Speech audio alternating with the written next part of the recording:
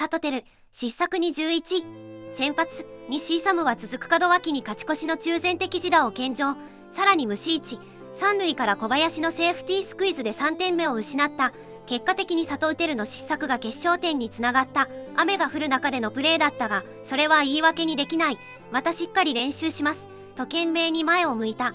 佐藤も悪いが一番悪いのは外野へコンバートしない岡田しっかり投げてもセーフやってむしろ投げたらあかんケースあの場面版と予想できたのにあんなに深く守ってるのがそもそもの問題。初回の送球も怪しかったしエラーのところは足が揃ってたし佐藤は踏ん張って投げないよな。下半身を使えてないから送球がそれるんじゃね。あまりにも佐藤の相打つに勝敗左右されすぎやろこの球団。とてもチームプレーのスポーツ競技とは思えんわ。